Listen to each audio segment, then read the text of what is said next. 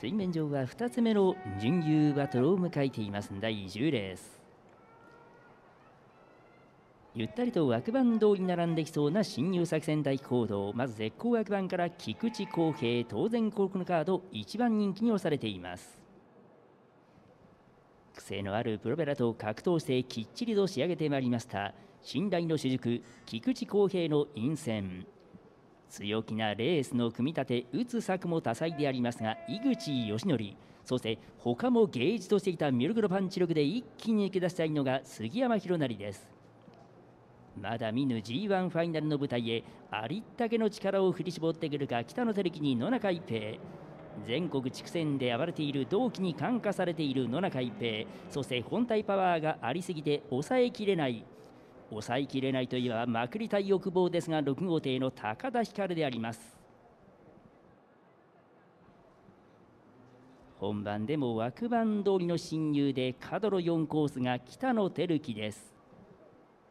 菊池井口杉山この辺りも気配面ではかなり強力ムードにも感じるが1番2番3番4番5番6番です。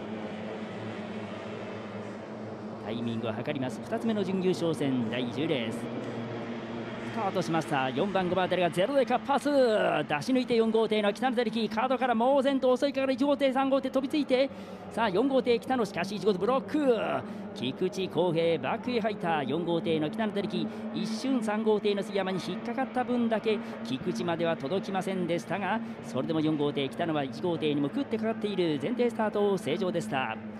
菊池がトップで回って5号艇詰め寄ってくる北野照樹レースおっと後方では2号艇若干振り込み気味。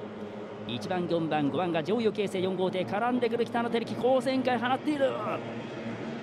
菊池がボート半分前へつけていますが残念ながら一艇現在は立ち往生であります。主導権争い4号艇先手菊池公平渾身の差し返し。バックへ入ったが北野照樹高旋回抑え込む。北野照樹が先頭に浮上であります。残念ながら2号艇立ち往生から復帰できません。2号艇の井口選手。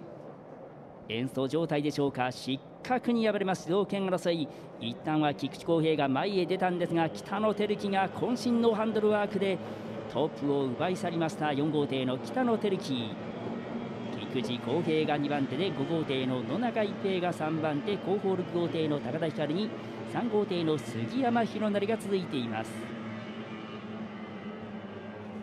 ロ台踏み込みながら果敢にいった4号艇の北野照樹一旦は菊池のブロックにあったとはいえしかしながら道中戦でさばいて抜いて4号艇の北野照樹が先頭に浮上しています。今最終コーナー自己艇を避けながらラストコーナー旋回でありますが北野照樹してやったり菊池康平が2番手で5号艇野中一平が3番手最終コーナー今旋回であります。第10レースの準優勝戦先頭4番の北野照樹ゴールイン2着で1番の菊池康平。3着で5番の野中一平です。6番の高田に3番の杉山がゴールイン。